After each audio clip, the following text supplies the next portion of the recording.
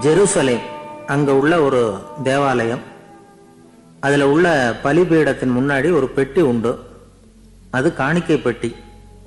ஆலயத்துக்கு வர்றவங்க பிரார்த்தனை பண்ணிவிட்டு திரும்பி போற சமயத்துல அந்த பெட்டியில காணிக்கை போடுவாங்க. அவங்களால எவ்வளவு முடியுமோ அவ்வளவு போடுறது வழக்கம். அவங்கவுங்க வசதிக்கு தகுந்த மாதிரி போடுவாங்க. வசதி உள்ளவங்களா இருந்தாலும் சரி வசதியே இல்லாத வறியவர்களா இருந்தாலும் சரி ஆலய காணிக்கை பெட்டியில் காசு போடுறது அவங்களுக்கு ரொம்ப பெருமையான ஒரு செயல். ஒரு சமயம் இயேசு தம்முடைய சீடர்களோடு அந்த ஆலயத்துக்கு வரார். அங்கே உட்காந்து ரொம்ப நேரம் வழிபாடு பண்ணிட்டு இருக்கிறார். சீடர்களும் அந்த ஜபத்தில் கலந்துக்கிட்டாங்க வழிபாடு முடிஞ்சுது. இயேசு உட்காந்துருக்கிறார் காணிக்கை பெட்டியில் காசு போடுறவங்கள கவனிக்கிறார். சீடர்களும் அதையே கவனிச்சுக்கிட்டு இருக்கிறாங்க. ரொம்ப பேர் வரிசையாக வந்தாங்க. அவங்களால முடிஞ்ச அளவுக்கு காசு போட்டுட்டு அவங்க பாட்டுக்கு போய்கிட்டு இருக்கிறாங்க வசதியானவங்க நிறைய பேர் வந்தாங்க. அதுக்கு மத்தியில் வயசான ஒரு அம்மா அவங்களும் வந்து காசு போட்டுட்டு போகிறாங்க இப்போ இயேசு தன்னுடைய சீடர்கள் பக்கம் திரும்பினார். ஒரு கேள்வி கேட்டார். இப்போ இந்த காணிக்கை பெட்டியில் நிறைய பேர் வந்து காசு போட்டுட்டு போகிறத நீங்கள் கவனிச்சிங்க. இன்னைக்கு இந்த காணிக்கை பெட்டியில் ரொம்பவும் அதிகமாக காசு போட்டது யார்? அப்படின்னு கேட்டார். முதல்ல வந்தார ஒரு பெரிய மனுஷன் அவர் தான் அதிகமாக போட்டார் அப்படின்னார் ஒருத்தர். மூணாவதாக வந்தவர் தான் அதிகமாக போட்டார் நான் கவனித்தேன் அப்படின்னாரு இன்னொருத்தர். இப்படி ஆளுக்கு ஒரு விதமாக சொல்கிறாங்க கடைசியாக இயேசு சொன்னாராம் இன்றைக்கு அந்த பெட்டியில் அதிகமாக காசு போட்டவங்க அந்த வயசான அம்மா தான் அப்படின்னாராம். சீடர்களுக்கு ஒன்றும் புரியல. அந்த அம்மா ரொம்ப ஏழையாச்சே அவங்க எப்படி அதிகமாக காணிக்கை செலுத்த முடியும்? அப்படிங்கிறது அவங்க சந்தேகம். இயேசு விளக்குனார் நிறைய பேர் வந்தாங்க. நிறையவே காசுகள் போட்டாங்க. அது உண்மைதான். ஆனாலும் அந்த அம்மா என்ன பண்ணாங்க? கவனிச்சிங்களா? வந்தாங்க. தன்னுடைய காசு பைய திறந்தாங்க. அப்படியே கொட்டினாங்க. அதில் இருந்தது ரெண்டே ரெண்டு காசுகள் தான். அந்த ரெண்டு காசும் காணிக்கை போட்டியில் விழுந்துட்டுது. மற்றவங்கள்லாம் தங்கள்கிட்ட இருந்த செல்வத்தின் ஒரு சிறு பகுதியை எடுத்து பெட்டியில் போட்டாங்க. ஆனால் இந்த அம்மா தன்கிட்ட என்ன இருந்ததோ அதை அப்படியே போட்டுட்டாங்க. தன்னுடைய பிழைப்புக்காக வச்சிருந்த அவ்வளவையும் இழக்கிறதுக்கு தயாராயிட்டாங்க. அவ்வளவு தாராள மனசு அவங்களுக்கு. அதனால அவங்க செலுத்தின காணிக்கை தான் அளவில் அதிகம் அப்படின்னார். விலை மதிப்பில்லாத முத்து புதையல் ஒருத்தனுக்கு கிடைக்க போகுதுன்னு வச்சுக்கோங்க. அதன் மதிப்பை உணர்ந்தவன் என்ன பண்ணுவான்? அதை அடையறதுக்காக தன்கிட்ட இருக்கிற எதையும் கொடுக்கறதுக்கு தயாராக இருப்பான் இல்லையா? அது மாதிரி தான் இதுவும் அப்படின்னார். உலக மதிப்பீடுகளை துரும்பா தூசியா மதிச்சு அதையெல்லாம் உதறி விடுகிறவன் இறையருள் அப்படிங்கிற இணையில்லாத செல்வத்தை பெறுகிறான் அப்படிங்கிறது இதில் உள்ள கருத்து. இறைவனுக்காக இழப்பதுன்னா துன்பப்படுகிறவர்களுக்காக ஏழைகளுக்காக ஏதுமற்றவர்களுக்காக இழப்பது அப்படின்னு அர்த்தம். உங்கள் அயலானுக்கு நீங்கள் என்ன உதவி செய்தாலும் அதை எனக்கே செய்கிறீர்கள் அப்படின்னு இயேசு சொல்லியிருக்கிறார். அடுத்தவங்களுக்கு உதவணுங்கிற குணம் இன்னைக்கு ரொம்ப குறைஞ்சி போச்சு. செய்ய வேண்டிய கடமையிலிருந்து விலகி இருக்கிறவர்கள் நம்மகிட்ட நிறைய பேர் உண்டு. அப்படிப்பட்ட ஒருத்தர் டாக்டர் கிட்ட போனார்.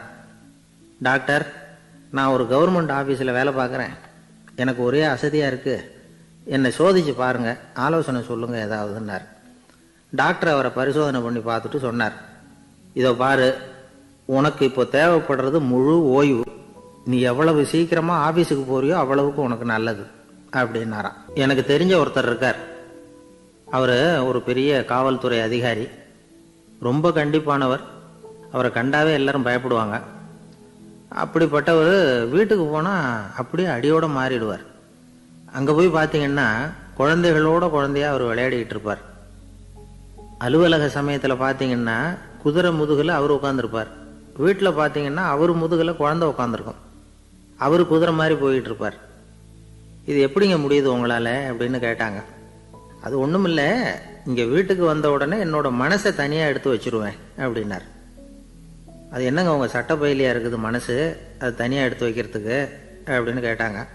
அப்படி இல்லைங்க இது ஒரு பயிற்சி மனப்பயிற்சி அவ்வளவுதான் அப்படின்னார். இப்படி சமயம் பார்த்து மனசை தனியாக வச்சுவிட தெரிஞ்சவங்க வாழ்க்கையில் எப்பவும் உற்சாகமாக இருப்பாங்க அப்படிங்கிறது பெரியவங்க கருத்து. ஒரு டாக்டர் ஆஸ்பத்திரியில் இருக்கிற வரைக்கும் டாக்டராக இருக்கலாம். அவர் மனைவிகிட்டையும் அவர் டாக்டராக இருக்க வேண்டிய அவசியம் இல்லை. ஒரு வக்கீல் வந்து கோர்ட்டில் இருக்கிற வரைக்கும் வக்கீலாக இருக்கலாம். வீட்டுக்கு வந்ததுக்கு அப்புறமும் வக்கீலாக இருக்க வேண்டிய அவசியம் கிடையாது. வீட்டில் வந்து குழந்தைகள்கிட்ட விளையாடும் பொழுதும் அதுகள்கிட்ட ஃபீஸு கேட்டுக்கிட்டு இருக்கக்கூடாது நாம் எப்படி இருக்கணும்னு பெரியவங்க சொல்கிறாங்கன்னா மனசோட சேரக்கூடாதான். அப்படி சேராமல் வாழ்க்கையை கவனிக்கணுமா? மனசை அப்படியே தனியாக எடுத்து பக்கத்தில் வச்சுடணும். அப்படின்னா அதை அப்படியே தூக்கி எரிஞ்சுடு அப்படின்னு அர்த்தம் இல்லை. ஏன்னா மனசுங்கிறது நமக்கு உபயோகப்படக்கூடிய ஒன்று தான் எப்போ எப்போ அது தேவையோ அப்பப்போ எடுத்து உபயோகப்படுத்திக்கணும். தேவைப்படுறப்போ எடுத்து கண்ணாடியை மாட்டிக்கிறோம்ல? படிக்கும் பொழுது கண்ணாடி தேவைப்படுதோ எடுத்து மாட்டிக்கிறோம் இல்லையா? அது மாதிரி.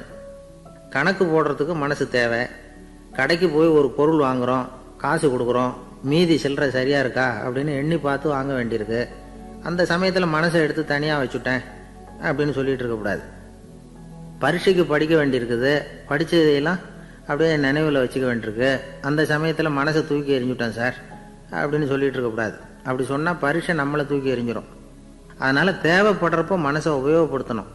தேவையில்லாதப்போ அதை தனியாக ஓய்வு எடுத்துக்க விட்டுடணும் இப்படி நாம் பழக்கப்படுத்திக்கிட்டா வாழ்க்கைங்கிறது நமக்கு புதுசாக தெரியுமா? மனசுக்கும் ஒரு சக்தி கிடைக்கும். எந்திரங்களுக்கு ஓய்வு கொடுக்குற மாதிரி மனசுக்கும் ஓய்வு கொடுக்கணும். இல்லைன்னா அது களைச்சி போயிடும். குழந்தைகள் மனசை சுமந்துக்கிட்டு இருக்கிறது இல்லை. இது வந்து முதியவர்கள் குழந்தைகள்கிட்டேருந்து கற்றுக்க வேண்டிய ஒரு பாடம். ஆனாலும் இந்த கால குழந்தைகள்கிட்ட ரொம்ப எச்சரிக்கையாக இருக்க வேண்டியிருக்கு ஒரு தாத்தாவும் பேரனும் விளையாடிக்கிட்டு இருக்கிறாங்க. தாத்தா எனக்கு சைக்கிள் ஓட்ட கற்றுக் கொடு அப்படிங்கிறான் பேரன். சைக்கிள் உயரம் கூட இல்லை அதுக்குள்ளே சைக்கிள் ஓட்டணுமா? அப்படின்னார் தாத்தா. ஏன் தாத்தா ரயில் ஓட்டுறாரே அவர் என்ன ரயில் நீளமாக இருக்கார்? அப்படின்னு கேட்டானா அந்த பையன். ஒரு நல்ல நகைச்சுவை எப்படி இருக்கணும்? இதுக்கு ஒவ்வொருத்தர் ஒவ்வொரு மாதிரியான விளக்கத்தை கொடுத்துருக்குறாங்க. ஆனால் கலைவாணர் என் எஸ் கிருஷ்ணன் கொடுக்குற விளக்கம் என்ன தெரியுமா? நகைச்சுவைங்கிறது அடுத்தவங்களுக்கு துன்பம் கொடுக்காம இருக்கணும். அடுத்தவங்க மனசை புண்படுத்தக்கூடாது அதுதான் சிறந்த நகைச்சுவை அப்படிங்கிறார். அதுக்கு அவர் உதாரணமும் கொடுக்குறார். ஒரு ஏரி ஓரமாக ரெண்டு பசங்க நடந்து போயிட்டு இருக்கிறாங்க. அதில் ஒருத்தன் பணக்கார வீட்டு பையன் இன்னொருத்தன் ஏழை. இவங்க ரெண்டு பேரும் போயிட்டு இருக்கிறாங்க. வழியில் ஒரு இடத்துல ஒரு ஜோடி செருப்பு இவங்க கண்ணில் படுது. ஒரு விவசாயி அந்த செருப்பை அங்கே விட்டுட்டு பக்கத்தில் இருந்த ஏரியில் கை காலை கழுவிட்டு இருக்கிறார். உடனே அந்த பணக்கார பையனுக்கு ஒரு ஐடியா. அவன் சொன்னானா டேய் இப்போ ஒரு வேடிக்கை செய்யலாம். அந்த செருப்பு ரெண்டையும் தூக்கி எட்டத்தில் வீசி எரிஞ்சிருவோம். அந்த ஆள் வந்து பார்த்துட்டு செருப்பை தேடி அல்லாடுவான். அங்கேயும் இங்கேயும் ஓடுவான். திரு திருன்னு முழிப்பான். அதை பார்த்து நாம் ரசிக்கலாம். நல்ல தமாஷா இருக்கும். அப்படின்னு இருக்கான் இப்படி சொல்லிவிட்டு அந்த செருப்புகளை தூக்கத்துக்கு போனானா. கொஞ்சம் பொறு அப்படின்னானா அந்த ஏழை பையன். ஏன்னு கேட்டிருக்கான் அவன். இப்போ அந்த ஏழை பையன் சொன்னானா நீ சொல்கிறது ஒன்றும் வேடிக்கை கிடையாது. உன்னோட செருப்பு தொலைஞ்சா உன் அப்பா உடனே உனக்கு வேற செருப்பு வாங்கி கொடுத்துருவார். ஆனால் அந்த ஆளுக்கு இந்த செருப்பு தொலைஞ்சதுன்னா வேறு புதுசாக வாங்குறதுக்கு வாயையும் வயத்தையும் கட்டி பணத்தை சேர்க்க வேண்டியிருக்கும். அதனால் நான் ஒரு வேடிக்கை சொல்கிறேன் அது மாதிரி செய். அது இன்னமும் தமாஷா இருக்கும். அப்படின்னு நானா எப்படி அது சொல்லுன்றான் அவன். செருப்பு ரெண்டும் அது இருக்கிற இடத்துலயே இருக்கட்டும். உன் சட்டப்பையிலிருந்து ஒரே ஒரு ஒரு ரூபா நாணயத்தை எடு. அதை அந்த செருப்பு மேலே அதோட குதிகால் பகுதியில் வச்சுட்டு நாம் ரெண்டு பேரும் அந்த மரத்துக்கு பின்னாடி ஓடி போய் மறைஞ்சு நின்றுக்குவோம் அப்புறம் பாரு வேடிக்கைய அப்படின்னா. அதே மாதிரி ஒரு ரூபா காசு செருப்பு மேலே வச்சுட்டு இவங்க ரெண்டு பேரும் மறைஞ்சு நின்றுக்கிட்டாங்க கொஞ்ச நேரத்தில் அந்த விவசாயி வந்தார். காலில் உள்ள மண்ணை தட்டிவிட்டு செருப்பை மாட்டுறதுக்காக போனார். அங்கிருந்த காசு கண்ணில் போட்டுட்டுது அவருக்கு ஆச்சரியமாக போச்சு. அதை கையில் எடுத்து பார்க்குறார். நாலு பக்கமும் திரும்பி திரும்பி பார்க்குறார். யார் இதை வச்சிருப்பான்னு? கடைசியில் ஆகாயத்தை பார்க்குறார். ஆண்டவா இது உன்னோட கருணை தான். நீ தான் யாரோ புண்ணியவான் மனசில் தர்மம் பண்ணுற எண்ணத்தை உண்டாக்கி இருக்கிற. அந்த புண்ணியவான் நல்லா இருக்கணும் அப்படின்னு வாழ்த்தி அந்த காசை கண்ணில் ஒத்திக்கிட்டாராம் மறைஞ்சிருந்து பார்த்துக்கிட்டு இருந்த ஏழை பையன் இப்படி சொன்னான். பாத்தியா? உன்னை புண்ணியவான்னு வாழ்த்திவிட்டு போறார் அந்த ஆள் அவருக்கும் சந்தோஷம். அதை பார்த்து நமக்கும் சந்தோஷம். உனக்கு ஒரு ரூபாங்கிறது ஒரு பெரிய விஷயம் இல்லை. ஆனால் அதனால் நமக்கு கிடைச்சிருக்கிற மகிழ்ச்சி ரொம்ப உயர்வானது அப்படின்னு நானா வேடிக்கையும் கிண்டலும் இது மாதிரி அடுத்தவங்களுக்கு இடைஞ்சலாக இல்லாமல் இருக்கணும் அப்படிங்கிறார் கலைவாணர். ஆனால் பாருங்க அவருக்கே இடைஞ்சலாக வர்ற விஷயங்களை கூட அவர் வேடிக்கையாக தான் எடுத்துக்கிட்டாராம். ஒரு தடவை ஒருத்தர் கலைவாணர்கிட்ட வந்து ஐயா என் குழந்தை செத்து போச்சு அப்படின்னு சொல்லி அழுதாரான் உடனே இவர் அவருக்கு நூறுரூவா பணத்தை கொடுத்து இந்தாங்க அடக்கம் செய்யுங்க அப்படின்னு சொல்லி அனுப்பி வச்சாராம். ஒரு வருஷம் கழித்து மறுபடியும் அதே ஆள் வந்திருக்கார். இவர் மறந்துருப்பாருங்கிற நினப்பில் அண்ணே என் குழந்தை இறந்து போச்சு அண்ணே அப்படின்னாராம். இவர் மறுபடியும் நூறுரூபா கொடுத்து ஆறுதல் சொல்லி அனுப்பி வச்சாராம். ஏழு எட்டு மாதம் கழித்து மறுபடியும் அதே ஆள் வந்திருக்கார். அவர் வாயை திறக்கிறதுக்கு முன்னாடியே இவர் நூறு ரூபாய் அவர் கையில் வச்சு போன ரெண்டு தடவை தான் குழந்தை செத்து போச்சு. இந்த தடவையாவது அதை சாகாமல் காப்பாற்றி கொடு அப்படின்னு சொல்லி அனுப்பி வச்சாராம். அதுக்கப்புறம் அந்த ஆள் வர்றதே இல்லையா?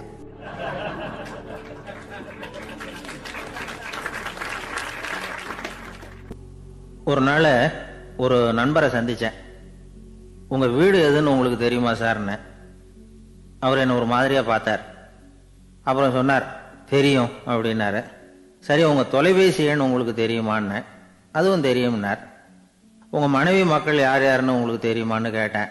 என்ன ஒரு மாதிரியாக பார்த்தார் அப்புறம் சொன்னார் அதுவும் தெரியும் சார் அப்படின்னார். சரி நீங்கள் யாருன்னு உங்களுக்கு தெரியுமான்னு கேட்டேன். இப்போ தான் அவர் முழிக்க ஆரம்பித்தார் அவர் மட்டும் அப்படி இல்லை நாம் எல்லாருமே அப்படி தான் எதிரில் நிற்கிறது யாருங்கிறது தெரியும். நாம் யாருன்னு நமக்கு தெரியாது. உண்மையிலேயே நாம் யார்? இந்த கேள்விக்கான பதிலை தான் வாழ்க்கை பூரா நாம் தேடிட்டு இருக்கிறோம். புத்தர் என்ன சொல்கிறார் தெரியுமா?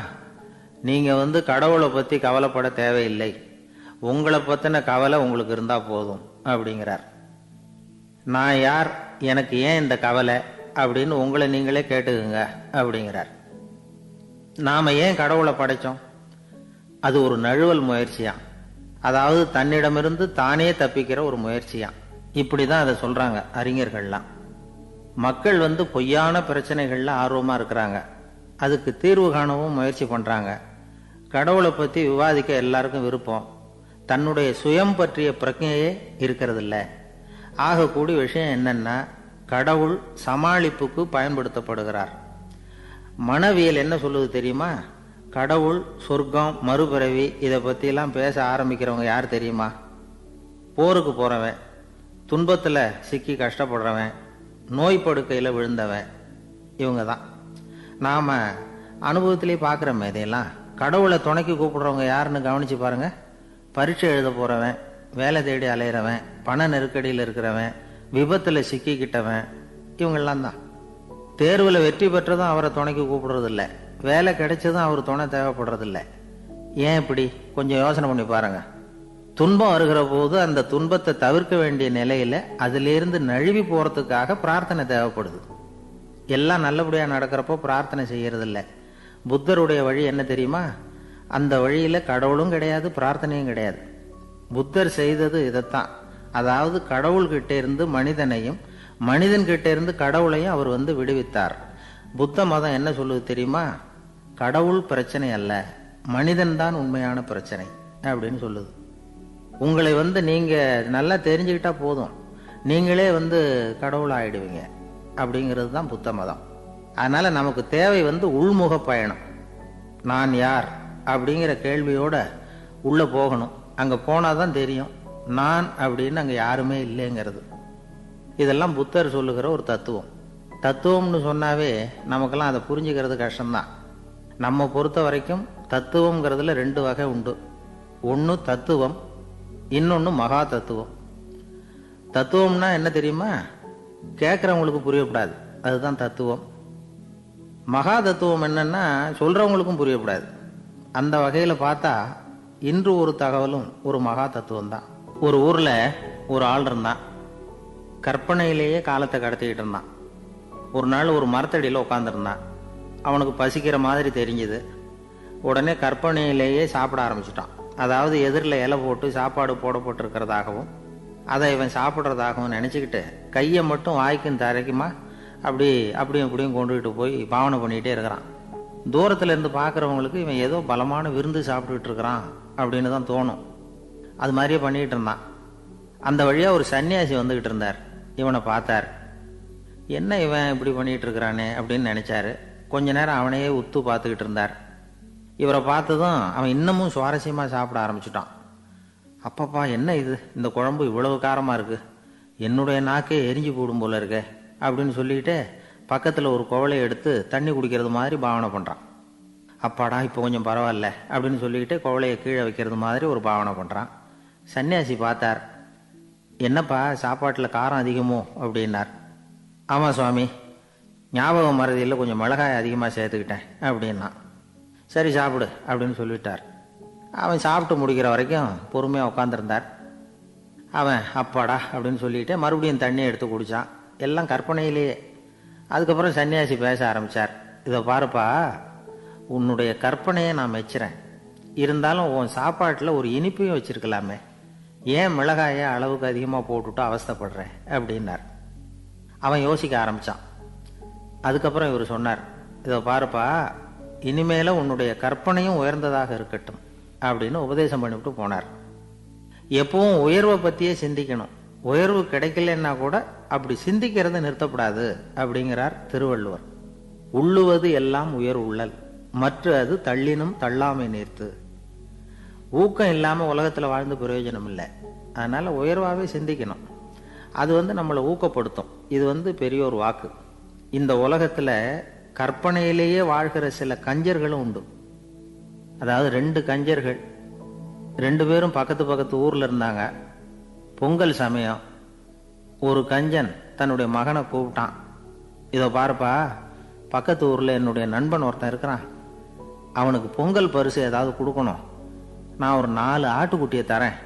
நீ கொண்டுகிட்டு போய் கொடுத்துட்டு வந்து விடுறியா அப்படின்னு கேட்டான். சரி நான் புள்ள. ஒரு பைய கையில் எடுத்துக்கோன்னா அவன் எடுத்துக்கிட்டான். இந்த ஆட்டுக்குட்டி பிடிச்சிக்கோ அப்படின்னு சொல்லி ஒவ்வொன்றா போடுறேன் பார் அப்படின்னு சொல்லிட்டு ஒன்று ரெண்டு மூணு நாலு அப்படின்னு எண்ணிக்கிட்டே வெறும் சைகையாலேயே ஆட்டுக்குட்டியை பிடிச்சி போடுறது மாதிரி பாவனை பண்ணிகிட்டு இருக்கிறான். அவன் பிள்ளையும் அதை ரொம்ப அக்கறையாக வாங்கிக்கிறது மாதிரி வாங்கிக்கிட்டு அந்த பையை தூக்கிக்கிட்டு அடுத்த ஊருக்கு போகிறான் இவன் அங்கே போய் சேர்ந்த நேரத்தில் அந்த கஞ்சம் ஊரில் இல்லை. எங்கேயோ வெளியில் போயிருக்கிறான். அவனோட புள்ள மட்டும்தான் வீட்டில் இருந்தான். இவன் அவன்கிட்ட இதை பாரு எங்கள் அப்பா உங்கள் அப்பாவுக்கு ஆட்டுக்குட்டி கொடுத்து அனுப்பியிருக்கிறாரு. பிடிச்சிக்கோ அப்படின்னு சொல்லி பாவனையிலேயே ஒவ்வொன்றா எடுத்து அவங்ககிட்ட கொடுத்துட்டான். அவனும் வாங்கிட்டான் வாங்குறது மாதிரி. அப்புறம் சொன்னான் சரிப்பா நானும் பதிலுக்கு ஏதாவது ஒன்றுகிட்ட கொடுக்கணும் இல்லையா? அதனால் அந்த பைய பிடி ஒரு பத்து எலும்பிச்சம்பழம் தரேன். பதிலுக்கு அதை நீ எடுத்துகிட்டு போ அப்படின்னு சொல்லி கையாலேயே ஒவ்வொன்றா எடுத்து போடுறது மாதிரி பாவனை பண்ணிவிட்டான். அவனும் ரொம்ப நன்றி அப்படின்னு சொல்லிவிட்டு அதை வாங்கிட்டு போயிட்டான். கொஞ்ச நேரம் கழித்து வெளியில் போயிருந்த அப்பங்காரன் திரும்பி வந்தான். உள்ள சொன்னான் அப்பா உன்னோட நண்பர் அவருடைய மகன் மூலமாக உனக்கு ஆறு ஆட்டுக்குட்டி கொடுத்து அனுப்பியிருந்தார். நானும் பதிலுக்கு ஒரு பத்து எலுமிச்சம்பழம் கொடுத்து அனுப்பியிருக்கிறேன் அப்படின்னா எப்படிடா கொடுத்தேன்னு கேட்டார் அப்பா. இப்படி தான் கொடுத்தேன்னு சொல்லி சைகையிலேயே காட்டினான். இதை பார்த்ததும் அப்பங்காரனுக்கு பயங்கரமாக கோவம் வந்துட்டுது. பலார்னு அரைஞ்சுட்டான் பையனு. ஏன்பா அரைஞ்ச பத்து எலுமிச்சம்பழம் கொடுத்துட்டேனே அப்படிங்கிறதுக்காகவா? அப்படின்னு கேட்டான். அது கூட பரவாயில்ல. நீ காட்டுற சைகையை பார்த்தா ஆரஞ்சு பழம் சைஸுக்கு இருக்குதே. அவ்வளவு பெருசாக ஏன் கொடுத்த? அதுதான் எனக்கு கோபம் அப்படின்னா.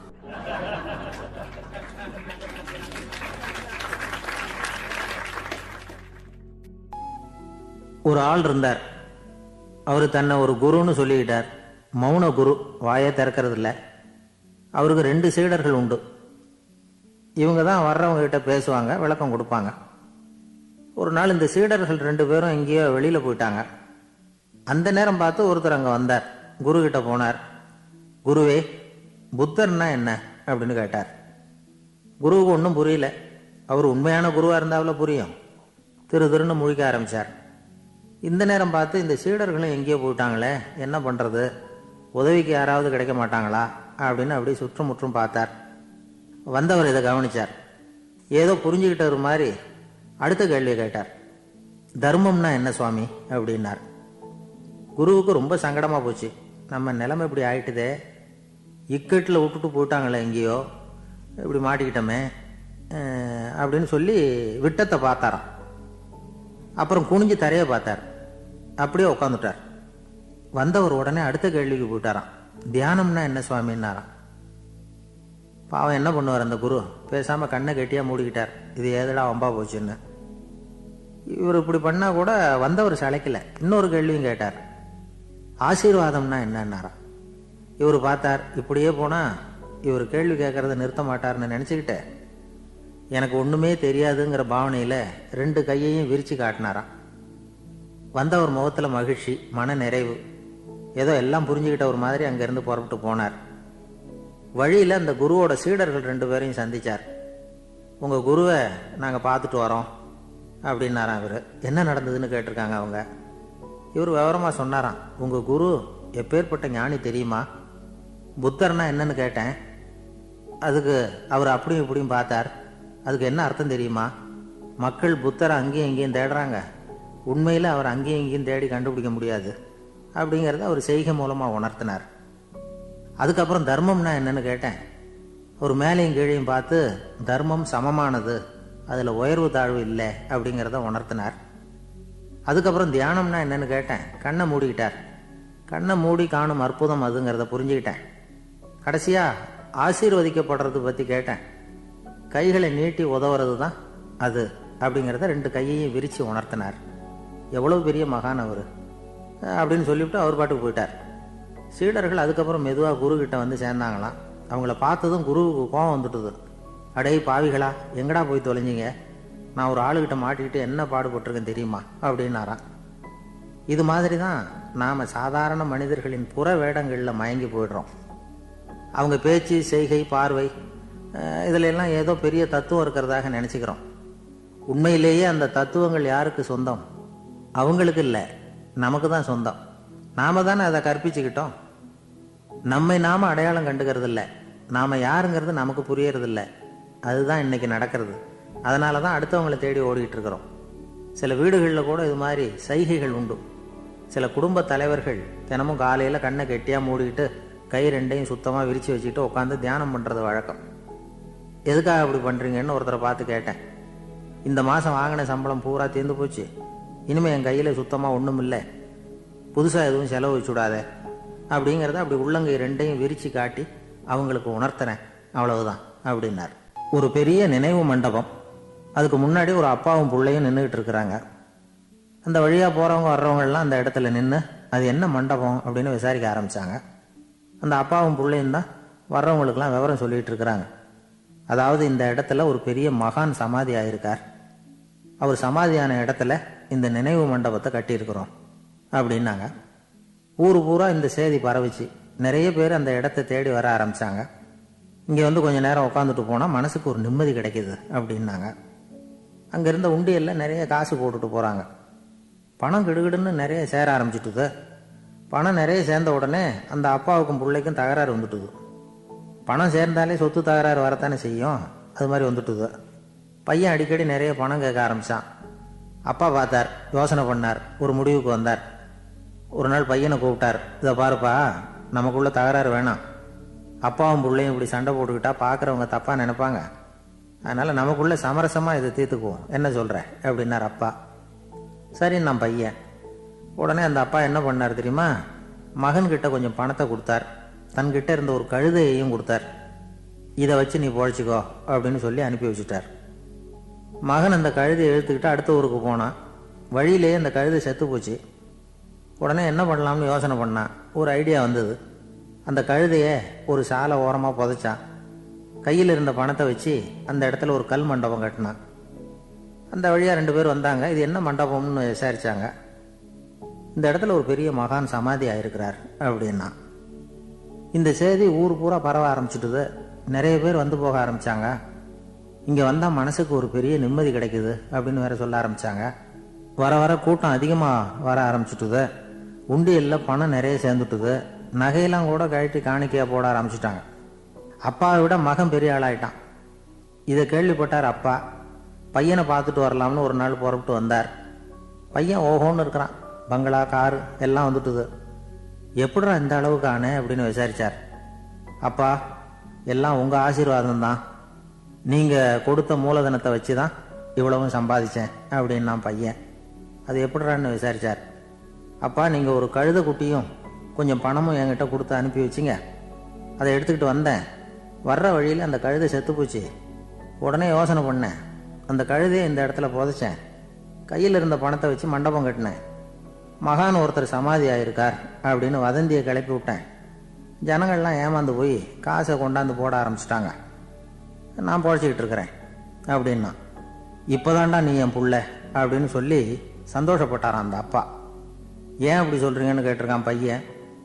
கழுத குட்டியை புதைச்சி மண்டபம் கட்டியிருக்கிற நீ ஏற்கனவே நம்ம ஊரில் நாம் கட்டியிருக்கிறோமே மண்டபம் அது இந்த கழுதையோட அம்மாவை புதைச்ச இடம். மகான் சமாதி ஆயிருக்காருன்னு நானும் சும்மா கப்சா தான் விட்டுக்கிட்டு இருக்கேன் அப்படின்னாரான் அப்பா. முட்டாள் ஜனங்களை நினச்சி அந்த ரெண்டு பேரும் சத்தம் போட்டு சிரிச்சாங்களாம். மனுஷனை மனுஷன் ஏமாத்துறது ரொம்ப சுலபம்.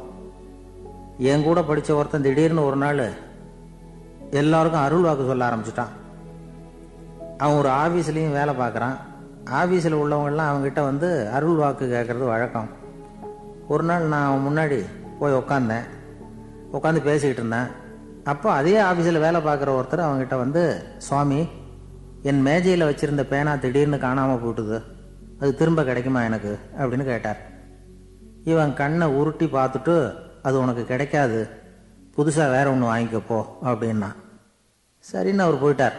அவர் போனதுக்கப்புறம் நான் மெதுவாக இவனை பார்த்து அது எப்படிடா அது? அது உனக்கு கிடைக்காதுன்னு அவ்வளோ உறுதியாக அவர்கிட்ட சொன்னேன் அப்படின்னு கேட்டேன்.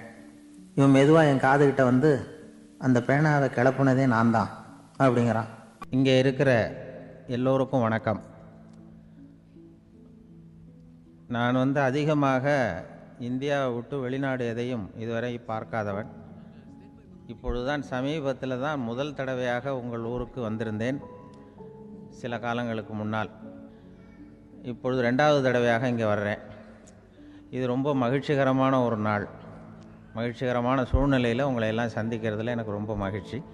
ஏன்னா தேசிய தின மகிழ்ச்சி கொண்டாட்டத்தில் நீங்கள் எல்லாம் கலந்து கொண்டிருக்கிறீர்கள். நேற்று நானும் அந்த தொலைக்காட்சியிலே அந்த அணிவகுப்பு எல்லாத்தையும் பார்த்தேன். ஒரு எந்த அளவுக்கு ஒற்றுமையாக செயல்பட்டால் எதையும் வெல்லலாம் அப்படிங்கிறதுக்கு ஒரு உதாரணமாக இந்த நாட்டில் இருக்கிற நீங்கள் எல்லாம் உழைத்து கொண்டிருக்கிறீர்கள். அது எனக்கு ரொம்ப மகிழ்ச்சி. இப்படி ஒற்றுமையாக இருந்தால் எவ்வளோ பெரிய வியாதியை கூட விரட்டி போடலாம் அப்படிங்கிறது மாதிரி நிரூபித்திருக்கிறீர்கள். அதனால் உங்களெல்லாம் சந்திக்கிறதுல எனக்கு ரொம்ப மகிழ்ச்சி. எனக்கு இது மாதிரி இவ்வளவு பெரிய கூட்டத்தில் என்னோட வந்திருக்கிற பெரியவர்கள் பேசி பழக்கம். நான் வந்து அதிகமாக கூட்டம் அதிகமான கூட்டத்தில் பேசி பழக்கம் இல்லை ஆனால் ரேடியோவில் ஒரு இருபது இருபத்தஞ்சி வருஷம் பேசியிருக்கிறேன். அதனால் வந்து எனக்கு எதிரில் கூட்டமே இல்லாமல் பேசி தான் பழக்கம். அது வெறும் மைக்கு மட்டும் இருக்கணும் எதிரில் யாரும் இருக்கக்கூடாது.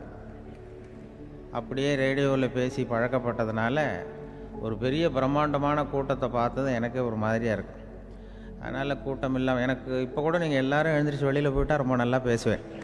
பேசுவேன். நீங்கள் வெளியில் இருந்துட்டு கேட்கணும் ஏன்னா அப்படியே பழகி போச்சு. இருந்தாலும் இதில் எனக்கு என்னென்னா இப்போ தமிழ்நாட்டில் நான் பலதரப்பட்ட கூட்டத்தில் பேசி சமீப காலத்தில் பேசியிருக்கிறேன். இந்த எல்கேஜி யூகேஜி படிக்கிற குழந்தைகள் முன்னாடி என்ன பேச சொல்லுவாங்க? எல்கேஜி யூகேஜி அந்த குழந்தைகள். அப்போ நான் எப்போ முடிக்கணுங்கிறது எனக்கு தெரியும். ஏன்னா அதுக்கு ஒரு அறிகுறி. அந்த குழந்தை என்ன பண்ணோம்னா மொதல் வரிசையில் இருக்கிறது அப்படி தரையை கீறும். கேச்சுன்னா அது போதும் அப்படின்னு அதுக்கு முடி முடிச்சுக்கோன்னு அர்த்தம். அதை பார்த்து தான் நான் முடிச்சுக்கிறது வழக்கம். கொஞ்சம் பெரிய ஹைஸ்கூல்னால் யாராவது பசங்க ரெண்டு மூணு பேர் கொட்டாவி விடுவாங்க. அதை பார்த்து அதை முடிச்சுக்கிறது வழக்கம். கல்லூரின்னா விசில் அடிப்பாங்க யாராவது ஒருத்தர் ரெண்டு பேர். இப்படி எனக்கு பலதரப்பட்ட எப்போ முடிக்கணுங்கிறதுக்கு அப்படிலாம் அறிகுறி உண்டு. எனக்கு ரொம்ப பிடிச்சது என்னென்னா இந்த முதியோர் இல்லங்கள் இருக்குது பாருங்கள் முதியோர் இல்லம் பென்ஷனர் அசோசியேஷன்லாம் இருக்குது தமிழ்நாட்டில். எல்லாம் அறுபது எழுபது வயசுக்கு மேற்பட்டவர்கள். அவங்க கூட்டத்தில் பேசுகிறது தான் எனக்கு ரொம்ப பிடிக்கும். ஏன்னா நான் பாட்டுக்கு பேசிக்கிட்டே இருப்பேன். அவங்களும் அசையாமல் கேட்டுக்கிட்டு இருப்பாங்க. அதுக்கு என்ன காரணம்னா காது கேட்காது. அது எனக்கு அப்புறம்தான் தெரியும். பேசி முடிச்சுட்டு இறங்கி போனால் அந்த மொதல் பெஞ்சில் உட்காந்துருக்கிறவர் நாற்காலில் என்ன சார் முடிச்சிட்டிங்க போல் இருக்கு அப்படிம்பார். அப்படிம்பார். எப்படி சார் கண்டுபிடிச்சிங்க? அதான் இறங்கி வந்தீங்கல்ல. அப்படி அப்படிம்பார். அதனால் அது மாதிரி கூட்டத்தில் ஒன்றும் எனக்கு வந்து சுத்தமாக யாரும் இருக்கக்கூடாது எதிரில். இல்லைன்னா அந்த முதியோர் இல்லை மாதிரி அப்படி காது கேட்காதவங்களாம் உட்காந்துருக்கணும் இங்கே அப்படி இல்லை. எல்லாம் ரொம்ப விழிப்போடு இருக்கீங்க. காதை திறந்து வச்சுக்கிட்டு அது மாதிரி என்ன போன்ற ஆட்களுக்கு இது கொஞ்சம் இது. பேசுகிறதும் என்ன சில பேருக்கு என்னென்னா பேச்சு மைக்கை பார்த்ததும் எனக்கு எப்போ நேரம் காலம் தெரியாது. முடிக்கிறதுக்கு தெரியாது. அப்படியும் உண்டு. பேச்சாளர்கள் பல ரகம் நான் கூட இப்போ ஒரு ஏற்பாடு பண்ணியிருக்கிறேன். என்னுடைய நண்பர் சுபாஷ்னு ஒருத்தர் வந்திருக்கார். அவர்கிட்ட சொல்லியிருக்கேன். நான் எப்போ முடிக்கணும்னு தோணுதோ அப்போ லேசாக தலையை சொறி. நான் முடிச்சுக்கிறேன். என்ன கடிகாரமும் கிடையாது ஒன்றும் கிடையாது. நான் எப்போ ஆரம்பிக்கிறேன் எப்போ முடிக்கிறேன்னு தெரியாதுன்னு சொன்னேன். இதே மாதிரி கும்பகோணத்தில் சமீபத்தில் ஒரு கூட்டத்துக்கு போகும்பொழுது அந்த ஏற்பாட்டாளரை உட்கார வச்சு நீ முடிக்கணும்னு தோன்றப்ப தலையை சொல்லியா நான் புரிஞ்சுக்கிறேன்னு. சொல்லிவிட்டு பெரியோர்களே தாய்மார்களேன்னதும் உடனே தலையை சொரிஞ்சாங்க. என்னையா அது உள்ளேன்னா இல்லை இது தலை அரிக்குது அதனால் சொல்லிடுறேன் நீ வந்து அது அது வேறு மாதிரியாக சொல்லுவேன்னு சொன்னார். அப்படி ஒருத்தர் ஏற்பாடு பண்ணி உட்கார வச்சுருக்கேன் எதிரில். அவர் இன்னும் தலைக்கு கையை கொண்டு போகல. இந்த முதல் வரிசையில் உட்கார வச்சுருக்கிறேன். ஏன்னா இந்த பேசுகிறவங்களுக்கு அந்த கூட்டம் வந்து பார்த்துட்டா முடிக்கிறது எப்போ முடிக்கிறது என்ன ஏதுன்னு தெரியாது. அது பேச்சாளர் ஒரு பேச்சாளர் அவர் பாட்டு பேசிகிட்டே இருந்தாராம் ரொம்ப நேரம் பேசிகிட்டு இருந்திருக்கார். பேசிகிட்டு இருந்தால் ஒன்றும் புரியல நேரங்காலம் தெரியல. அவருக்கே தோணி ஒரு கட்டத்தில் அந்த பேசுகிறவருக்கு ஐயா மன்னிச்சுக்கோங்க நான் வந்து ரொம்ப நேரம் பேசிட்டேன் போல் இருக்கு எவ்வளோ நேரம் பேசினேன்னு எனக்கே ஞாபகம் இல்லை. இந்த கை கடிகாரத்தை கூட பார்க்க மறந்துட்டேன். என்னை மன்னிச்சுக்கோங்க அப்படின்னாராம் அப்போ கோபமாக ஒருத்தர் எழுந்திருச்சு ஏன்யா கடிகாரத்தை தான் மறந்தேன். பின்னாடி மாட்டிருக்கிற காலண்டரையாவது பார்க்கக்கூடாதா? அப்படின்னாராம். அப்போ தான் தெரியுது அவன் வாரக்கணக்கில் பேசிக்கிட்டு இருந்திருக்கான். போன வெள்ளிக்கிழமை ஆரம்பித்து இந்த சனிக்கிழமை முடிக்கிறது மாதிரி. அப்படி ஆகிடும் என்ன கிடைக்காரமும் கிடையாது. அது மாதிரி இந்த பேசுகிற பேச்சு வந்து ஏன்னா பேசுனா வந்து என்ன சொல்லுவாங்கன்னா எந்த பேச்சை கேட்டாலும் ஒரு தன்னம்பிக்கை வரணுமா கேட்குறவங்களுக்கு அதுதான் நல்ல பேச்சு அப்படின்னு சொல்லுவாங்க. கேட்குறவங்களுக்கு ஒரு தன்னம்பிக்கை வாழ்க்கையில் ஒரு பிடிப்பு வரணும் தன்னம்பிக்கை வரணும். அப்படிப்பட்ட எண்ணத்தில் தான் அவங்கெல்லாம் நல்ல கருத்துக்களை சொல்ல வந்திருக்கிறாங்க. அது என்னென்னா ஒரு ஒரு ஒரு ஒரு இளைஞன் வந்து எங்கெங்கேயோ வேலை தேடி இருக்கான் வேலையே கிடைக்கல. உடனே ஒரு தண்டவாளத்தில் போய் தற்கொலை பண்ணி ஒன்று தண்டவாளத்தில் தலையை வச்சு படுத்துட்டானான் யாரும் வேலை கொடுக்கல. தண்டவாளத்தில் போய் தற்கொலை பண்ணி எடுத்து படுத்துருக்கான். அப்போ ரெண்டு பக்கமும் திரும்பி பார்க்குறான் ரயிலே வரல. என்னடா தற்கொலை பண்ணால் கூட ரயில் வர மாட்டேங்குது அப்படின்னு சொல்லிட்டு பார்த்துருக்கேன் அப்போ யாரோ ஒருத்தர் பேசிகிட்டு இருக்கார் ஒரு திடலில் கூட்டம். பெரியவர் பேசிகிட்டு இருக்கார் நம்ம அந்த பெரியவர் போய் கொஞ்ச நேரம் அந்த கூட்டத்தையாவது கேட்டுட்டு வருவோம். இனி ரயில் வர்ற பாட்டை காணும். அப்புறம் வந்து தலை வச்சு படுத்துக்குவோம். அப்படி நேராக அந்த கூட்டத்துக்கு போனால் ஒரு திடலில் ஒரு பெரிய மனுஷன் பேசிகிட்டு இருக்கார் தன்னம்பிக்கை வாழ்க்கையில் வந்து இளைஞர்கள் ரொம்ப தன்னம்பிக்கையோடு இருக்கணும் அப்படி இப்படின்னு பேசிகிட்டு இருக்கார் இவன் போய் உட்காந்து கேட்டான் இந்த இளைஞன். ஒரு மணி நேரம் கேட்டான். ரெண்டாயிரம் பேர் உட்காந்து கேட்டுக்கிட்டு இருந்தாங்க. உடனே முடிஞ்சு பே கூட்டம் முடிஞ்சது. கூட்டம்லாம் கலைஞ்சு போச்சு. அந்த பெரியவர் பேசிக்கிட்டு இருந்தார். அவரை போய் இவன் சந்தித்தான் இளைஞன் ஐயா நான் வந்து தற்கொலை பண்ணிக்கணுங்கிற எண்ணத்தோடு வந்தேன். தண்டவாளத்தில் தலையை வச்சு படுத்தேன். ரயில் வரல. அந்த நேரம் உங்கள் பேச்சு குரல் தான் கேட்டுது. நான் வந்து உங்கள் பேச்சை கேட்டேன். ஒரு மணி நேரம் கேட்டேன். கேட்டு முடித்ததுக்கப்புறம் என்னுடைய எண்ணத்தை நான் மாற்றிக்கிட்டேன் நான் இனிமேல் தற்கொலை பண்ணிக்க மாட்டேன். அப்படின்னா அவர் பேச்சாளருக்கு ரொம்ப பெருமை. இதுதான் ஒரு பேச்சுக்கு அடையாளம். இப்படி தான் இருக்கணும். சரி அந்த முடிவுக்கு எப்படி நீ வந்தேன்னு கேட்டார். இப்போ உங்கள் பேச்சை இந்த கூட்டத்தில் எவ்வளோ பேர் கேட்டுக்கிட்டு இருந்தாங்க சார்? அப்படின்னு கேட்டான். ஒரு ரெண்டாயிரம் பேர் இருக்கும்பா அப்படின்னார் அவர். அப்போ அந்த இளைஞன் சொன்னானா ஒரு ரெண்டாயிரம் பேரை ஒரே நேரத்தில் சாகடிக்கிற நீ உயிரோடு இருக்கிறப்போ நான் எதுக்கு சார் சாகணும் நான் இது வரைக்கும் யாருக்கும் எந்த கெடுதலும் பண்ணலை. நான் இனிமேல் சாக மாட்டேன் சார்ட்டு போயிட்டானா? அப்படி கேட்குறவங்களுக்கு ஒரு தன்னம்பிக்கை வரணும். அது வந்து எப்படியோ வந்தால் போகிறோம் இப்போ எங்கள் பேச்சை கேட்டுவிட்டோம் அந்த ரகத்தில் வந்தாலும் சரிதான். வாழ்க்கையில் ஒரு பிடிப்பு வரணும் அப்படிங்கிறது தான் ஒரு சிறந்த பேச்சுக்கு அடையாளம்னு சொல்லுவாங்க. அப்படி வந்து அது பண்ணுறது இதில் என்னென்னா இந்த மனிதனுக்கு வந்து அந்த சிரிப்பு இருக்கு பாருங்கள் அதை பற்றி சொல்லுவாங்க. நகைச்சுவை குடும்பத்தில் வந்து நகைச்சுவை உணர்வு இருந்ததுன்னா குழப்பமே வராதுன்னு சொல்லுவாங்க.